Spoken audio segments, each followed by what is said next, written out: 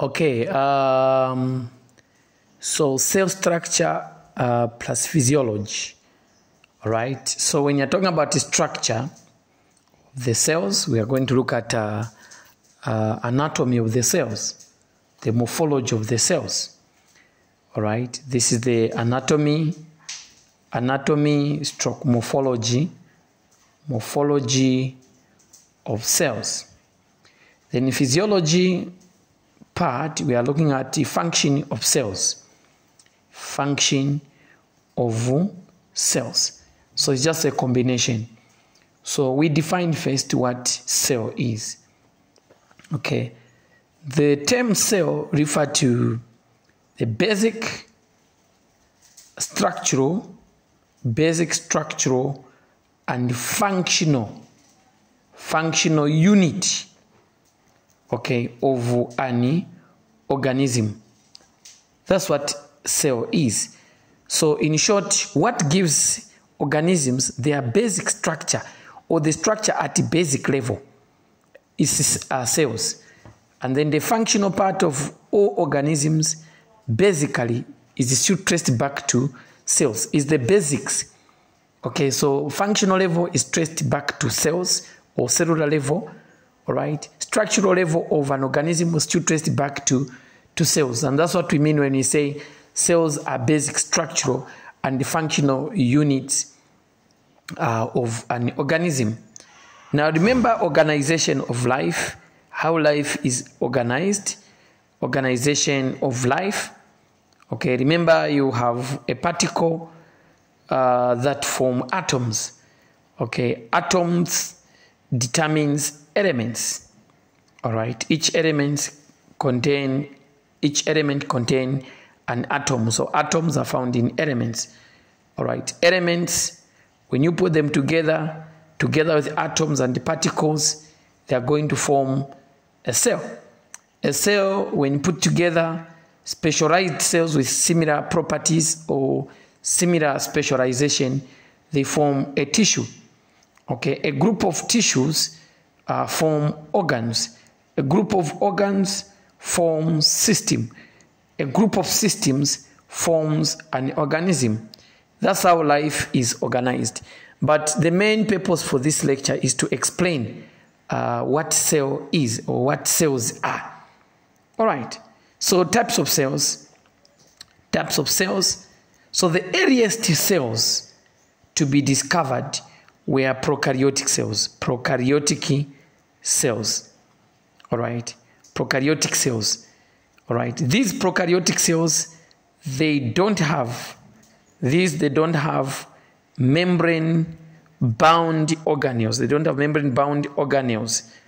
All right. They don't have organelles like mitochondria, rough endoplasmic reticulum, Golgi apparatus. Those are not there. So they don't have the membrane bound organelles.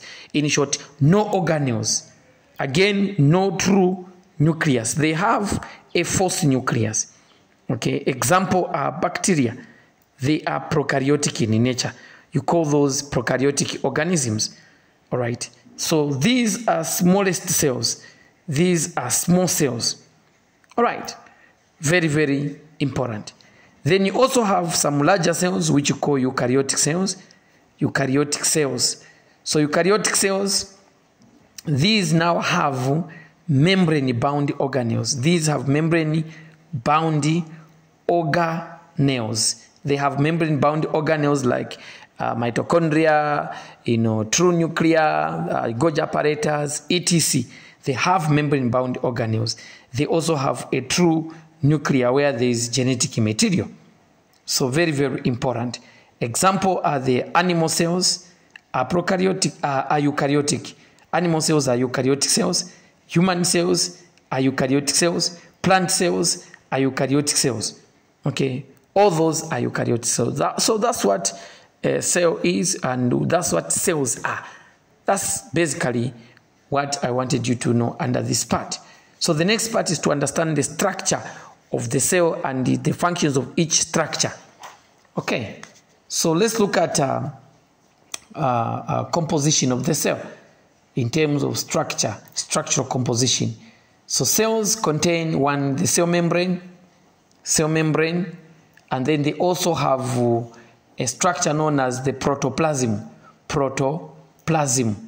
Okay, cell membrane is the outer covering, outer covering, okay, which is semi-permeable media, semi-permeable or selective media, semi-permeable or selective media of exchange, media of exchange, okay, between intracellular fluid compartment and extracellular fluid compartment. That's what cell membrane is, all right, and it does other functions other than being a media of exchange, the cell membrane is important also acting as a barrier.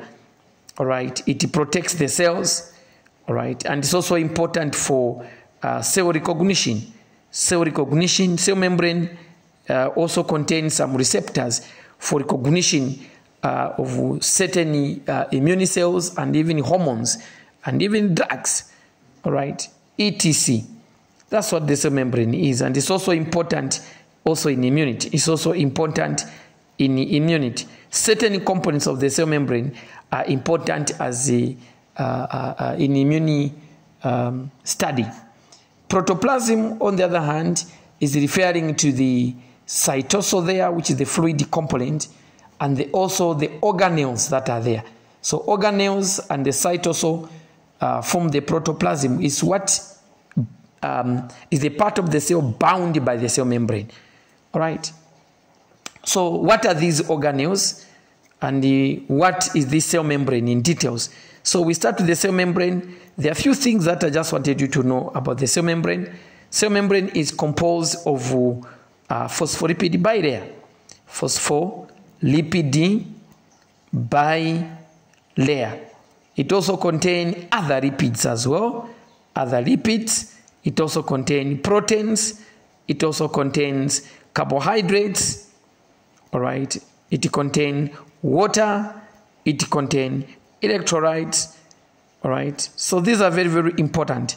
So proteins form about 55 uh, percent of the uh, of the cell membrane. Then the phospholipids and the other lipids, you know, they are in different percentages. About 25% they are phospholipids. All right, very, very important. And then other lipids, they come down, cholesterol and other things, they come down, you know, uh, with lesser percentages, which you don't have to worry much. No one will ask you much about the percentages. But in terms of size, the cell membrane uh, ranges from 7 nanometers, okay, to about 10 nanometers. So it differs from textbook to textbook. Okay, so that's what basically uh, forms the cell membrane. The major thing in the cell membrane there is the phospholipid bilayer. Phospholipid bilayer, uh, uh, these are two layers of phospholipids, all right? So we call it because there are two, two layers, okay? Very, very important. How do these phospholipids are? A phospholipid is a complex lipid. This is a complex lipid, meaning uh, uh, uh, or conjugate lipids, if you want, conjugate lipid, meaning it contains phosphate and the lipid conjugated. So it's one of the major uh, component of the cell membrane is the phospholipid among the lipids. So a phospholipid, just to remind you how it looks like, all right? So you have a, a lipid bonded to a phosphate. So basically it has a head, all right? The head is considered to be polar, okay, meaning it is soluble. The head is soluble, meaning reactive with water. Reactive with the water. It can interact with water. So the other term for this is that it is hydrophilic. So the head for the phospholipids tend to be hydrophilic because it contain the carboxylic group. It contain the acid group. That's why it is polar. Then it also contain tails. These tails are nonpolar They are nonpolar in nature. Mean they are hydrophobic. Hydrophobic. Phobic. Like that.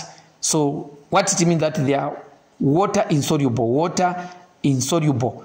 All right, they repel water, they repel water. Well, hydrophilic, hydro means water. Philic is a friendly love, okay, friendly, friendly love. That's what philic is. It's derived from some Greek terms. Phileo is a kind of love between friends. Then hydro here is water, phobic from the word fear, okay, uh, for fear, which is phobia. Okay, so that's what a phosphoryl bilayer looks like. So if you have, um, all right, this is the acid group and the ara chain. All right, the ara, this is the carbon chain. All right, then the acid group, this one, uh, is the one that tend to react with the phosphate like that. And then the ara is the carbon skeleton. This is the carbon skeleton. The carbon skeleton is the one we are looking as as being the tail. And then the head there is the one which contain the, the, the functional group with the phosphate. So to illustrate this, basically we put the phospholipids as having the head and the tail like that. That's how a phospholipid looks like. So this is the head. You don't have to draw everything like above, and this is the tail like that. It's a carbon skeleton. This carbon skeleton may be saturated or unsaturated. So the tail may be uh, saturated or or unsaturated. What it means when you say it's saturated, which means it has no double bonds, no double bonds, no double bonds. So the ones that are which don't have double bonds are more insoluble, more insoluble, more hydrophobic. Okay, those that are unsaturated they have double bonds. So those with double bonds, okay, are more soluble, are more soluble, and therefore they are more likely to form kinks. These form kinks. A kink is more like a bend or a corner. Okay, it's more like you have this. Let's say this the head, and then you know this the phospholipid bilayer. All right, and then this is a kink where you find the double bond. You find this is a kink like that. So these are the kinks. So if the phospholipid uh, uh, contain double bonds, it has a kink. A kink makes the uh, um, uh, molecules free, makes, makes molecules free, okay, to orient, to orient. And it, they, leave, they leave room for some uh, cholesterol in, in, the, in the middle and also water. So these tend to have more ability to attract more water, those that are unsaturated, rather than those that are saturated. So that's how a phospholipid looks like. So most of times between the tails, you find some cholesterol, water, and other molecules. All right, that's how a phospholipid is. So a bilayer in a cell membrane, let's say this is the cell membrane like that. All right, this is the extracellular fluid compartment, intracellular fluid compartment, ICF. Okay, the phospholipids are arranged in such a way that heads face water outside and the other layer has heads facing water inside. Reason being, uh, there's water there in the intracellular, there's water there in the extracellular. So heads, since they are hydrophilic, they interact with water. Okay? Then the tails are hydrophobic, they face each other. That's how the phospholipid bilayer looks like. Okay? Uh, in between there, you might find some integral proteins. Let's say these are the integral proteins. These are the integral integral proteins. All right. Some of the proteins are actually peripheral proteins. All right, like that. These are peripheral proteins. Peripheral proteins. Peripheral proteins. All right. Other things in the cell membrane you might find on the surface, you might find some glycoproteins, okay, glycoproteins, all right, or uh, you know, which are conjugate proteins, sugar plus proteins, etc. So you should look up into uh, the proper diagram of the, the, the, the cell membrane cross section mosaic. So you need to understand the cell membrane mosaic cross section. All right. So for the proteins, what do proteins? Uh, remember, they are integral proteins that I've already uh, shown you above, and they are also peripheral proteins. So integral proteins, these are also known as transmembrane proteins. Transmembrane proteins.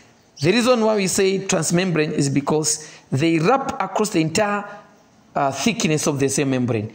They are both hydrophilic, okay, plus hydrophobic. So they contain both hydrophilic and hydrophobic hydrophobic properties, the integral proteins. So they can interact with everything. So you call these molecules as being amphipathic a molecule which has got both hydrophilic and hydrophobic properties is known as amphipathic protein. All right, or amphipathic molecule. For example, these integral proteins. So most of them, they tend to function as the, uh, uh, transporter channels. These are transporter or carrier uh, uh, channels. For example, in facilitated diffusion, they tend also to form ATPase pumps. Most of the ATPase pumps are due to the integral proteins. Then peripheral proteins, these are hydrophilic proteins. Hydrophilic meaning they only interact uh, with water. All right. So most of them, they just tend to act as receptors. They tend to function uh, as, as sites for recognition, sites for uh, recognition through the receptors anyway. Um, is the same, recognition through the receptors. Okay, others act as anchoring proteins. Okay, even some integral proteins can also function as the anchoring proteins. All right, very, very important. So they're just to give you just a small overview. Both of them can act for communication. All right. But integral proteins, remember that. Then you come to the carbohydrates.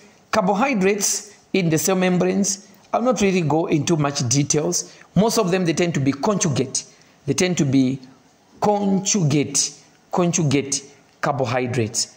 Okay, meaning these are carbohydrates that um, are combined together with the proteins, like the glycoproteins, glycoproteins here. Some of them are proteoglycans, proteoglycans, all right? Some of them are glycosaminoglycans, GAGs, such as dermatan sulfate, keratin sulfate, heparan sulfate, uh, chondroitin. There are so many, many, many. These, the GAGs, tend to be rich in, they tend to be rich in uronic acid. They tend to be rich in uronic acid and sulfur.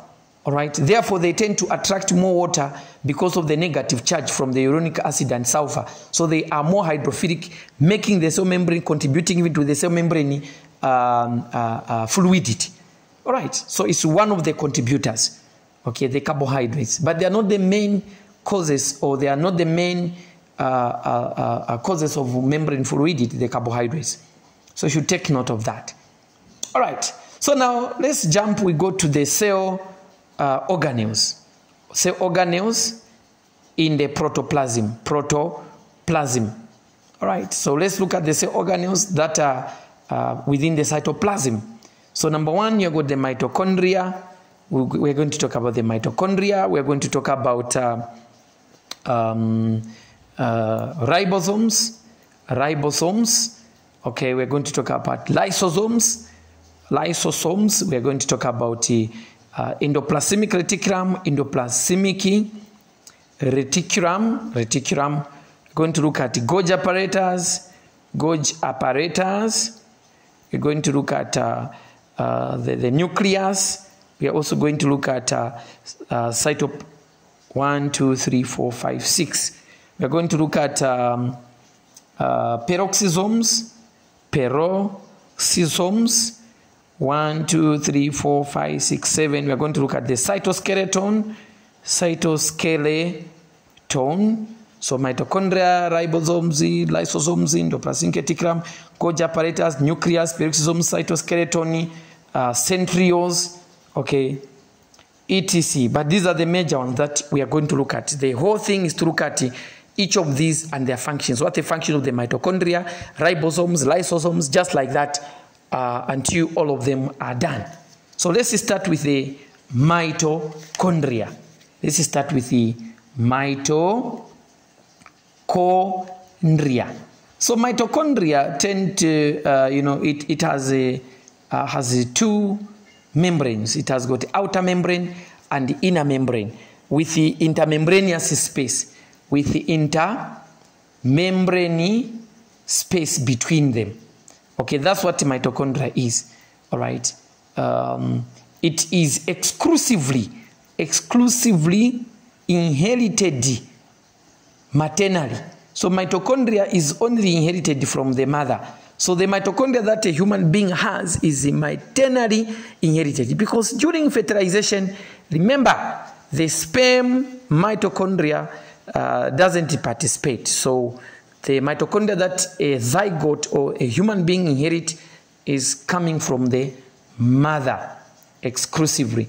Mitochondria uh, uh, uh, has its own independent, independent uh, DNA, okay, tend to be secular, DNA, okay, and it divides by binary fission on its own.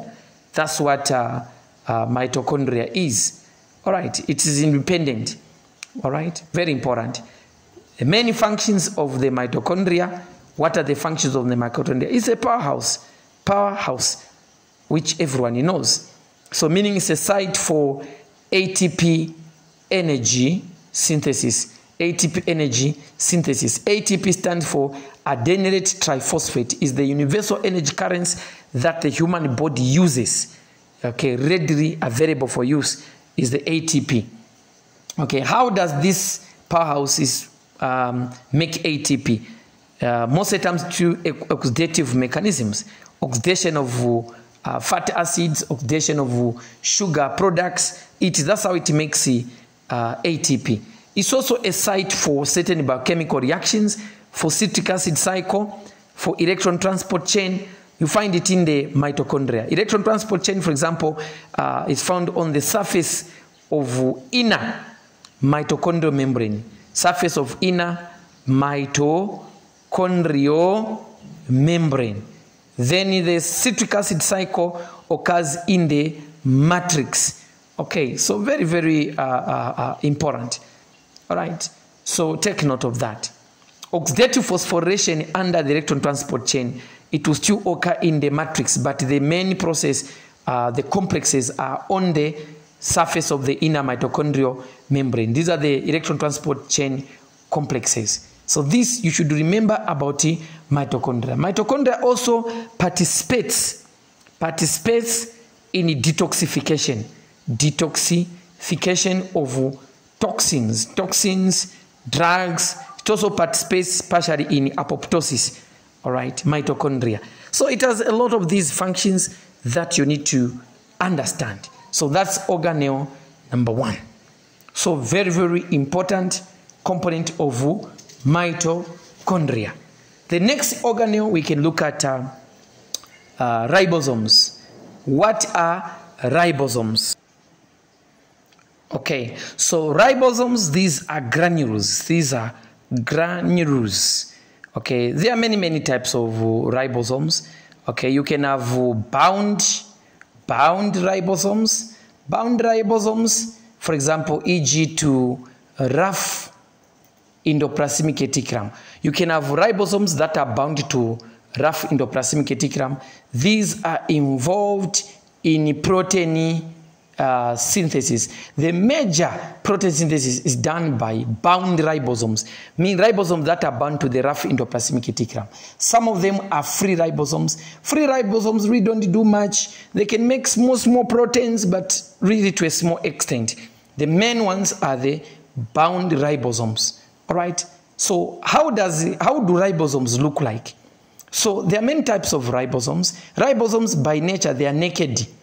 They are naked, meaning no membrane, no membrane around them. They are naked. That's why you can find them in both eukaryotic uh, organisms, in humans and animals. You can also find them in prokaryotic, prokaryotic organisms, in bacteria. But the ones you find in humans and animals are different from those you find in the bacteria. In eukaryotic organisms, the type of ribosomes that you find in eukaryotic organisms are made up of about 50% protein, 50% RNA. Okay, so these they form a unity known as 80S unit. 80S unit subdivided into 60S subunit and 40S subunit. Don't add these ones, these are not additive. All right, so prokaryotic organisms are more like um, uh, uh, uh, composed also of protein. All right, but the protein is about uh, 35 to about 40% uh, uh, proteins. All right, and then they're about 60 to about 65% being RNA. Okay, this they form a unity uh, known as 70S unit. 70S unit has two subunits. The bigger subunit there, known as 50S subunit. The smaller subunit there, known as 30S subunit. Again, these are not additive. The whole point is just to show you that there's a difference between the ribosomes in prokaryotic organisms and ribosomes in eukaryotic organisms. So in prokaryotic organisms, you can see the subunits are different. That's why even when you are giving drugs, there are certain drugs that you can give that inhibit protein synthesis. Protein synthesis inhibitors uh, in bacteria, antibiotics, they target either 50S or 30S subunits. All right? We talked about just uh, generally uh, those ones. So I wanted to give you that example. So that's why most of the antibiotics that affect protein synthesis in bacteria do not affect protein synthesis in humans. For example, tetracycline and most of the aminoglycosides are 30S subunit inhibitors. All right? Then others, for example, azithromycin, erythromycin, are 50S subunit uh. So they bind there and inhibit protein synthesis. So these are some of the things I wanted you to know about uh, the ribosomes. All right, so we go to the next uh, organelle number three. Which ones are those? Number uh, number three. Since you have talked about the ribosomes, I can talk about the endoplasmic reticulum, endo, endoplasmic reticulum. Endoplasmic reticulum, there are two, two major types. There's rough endoplasmic reticulum and smooth endoplasmic reticulum. The rough one, remember, it has bound ribosomes, bound ribosomal granules. That's why it looks rough because of those ribosomal granules. These are mostly involved in protein synthesis, involved in protein synthesis.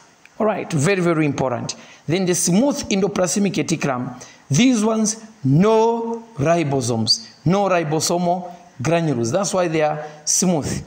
The main function of smooth endoplasmic reticulum, one are for lipid synthesis, all right, synthesis of lipids. The other thing is the calcium storage, intracellular calcium stores.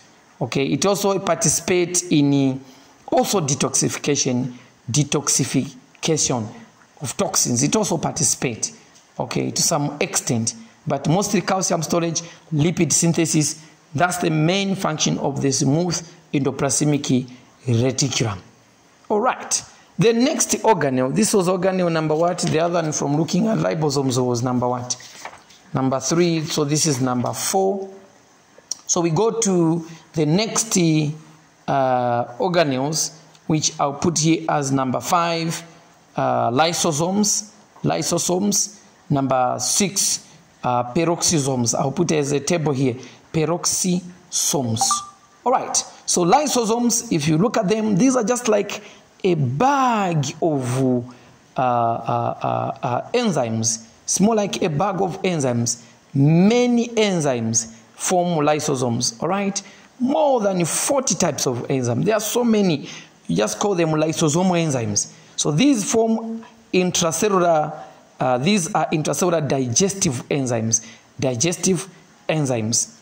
All right. Some of them are bactericidal in nature. So they also participate in immunity. Okay. So they are also involved in phagocytosis, involved in phagocytosis okay, cell eating of foreign antigens, e.g., in uh, phagocytes such as macrophages.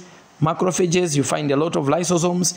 Neutrophils, you find a lot of lysosomes. So they are involved in killing foreign antigens. So these are killers. All right, these they kill. Okay, somehow they they also participate in cytotoxicity, cytotoxicity. Okay, of the cells they participate. All right. So examples of, uh, before I even go to the examples, these lysosomes are not self-replicative. These are not self-replicative. They don't replicate. Okay, they are not self-replicative. Two, these, remember, they break off from uh, Golgi apparatus, from Golgi apparatus. So these are some of the things. In terms of uh, pH, they tend to be acidic pH okay, or about 4.5 on average. Examples of these lysosomes include, um, um, uh, for example, hydrolases. Hydrolases, hydrolases by nature these um, uh, lysosomal enzymes, neuraminases, neuraminases, okay, nucleases, uh, you know, proteases, uh, etc. Okay, phospholipases, all those are lysosomal enzymes. There are so many, many, many of them. Right, so there are many. All right. While uh, they are lysosomal, so while peroxisomal enzymes, which are peroxisomes, these are also known as microbodies. Peroxisomes are also called microbodies. What do they do? Peroxisomes. Okay, remember these ones are self-replicative, self-replicative. All right, these are they bud off, bud off from smooth endoplasmic reticulum. All right. So there are very few examples are the oxidases, okay, uh, catalases. Under the oxidases, you got uh, superoxidases, etc. Okay, the main thing is just to detoxify. They detoxify oxygen radicals. Oxygen radicals, okay, mainly, for example, hydrogen peroxide, which is toxic. It get converted into water. For example, catalases. They do that so that water is non-toxic. Hydrogen peroxide is toxic if it accumulates in high amounts. So even bacteria that are catalase positive, meaning they can utilize oxygen and detoxify the byproducts. Okay, these tend, tend to have an alkaline pH. Right. They are also involved in it. Not only do they detoxify these radicals, even alcohol detoxification. Alcohol. Alcohol detoxification or metabolism, they are involved, the peroxisomes. So remember that. So that was organelle number five and six. So we go to organelle number seven. Organelle number seven, uh, Golgi apparatus. I would say Golgi apparatus. Golgi apparatus, these are involved, you know, they, uh, they're involved in packaging, packaging, modification, modification, processing, uh, and uh, transport, uh, transport or traffic, trafficking of materials. All right. So that's what Golgi apparatus are involved. Okay, and they also participate in some some vesicular protein uh, vesicular uh, protein synthesis. Okay, was just a small extent. All right. So we go to the next ones. Which ones after the uh, the Golgi apparatus? Um, secretory granules, secretory, secretory granules. Uh, not so much to talk about them. They are related to the um, to the Golgi apparatus. So I want to talk about these ones. Endosomes, endosomes also, they are related to the Golgi apparatus. They have almost similar functions as Golgi apparatus, the endo, uh, endosomes. Okay, so number 80 organelle that we are going to look at, centrioles, for example, centrioles. Centrioles, these, they look like a star.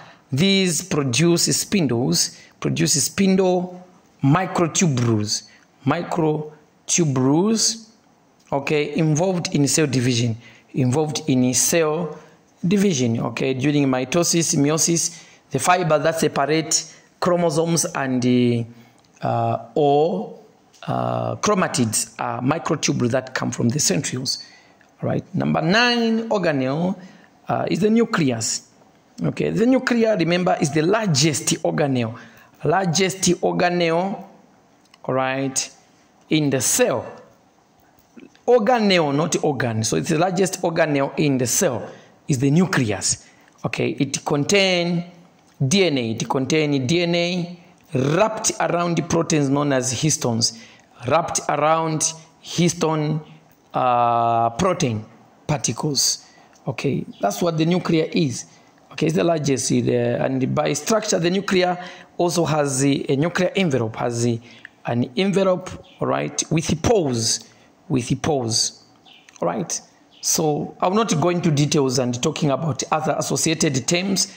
Other terms associated with the nuclear include the uh, uh, uh, it includes nucleolus. So I just want you to nucleosome, you know, nucleosome, okay, nucleolus, nucleolus, okay, nucleoplasm, nucleolymph, okay, it is or karyolymph, it is are many many uh, terms associated with the nucleus.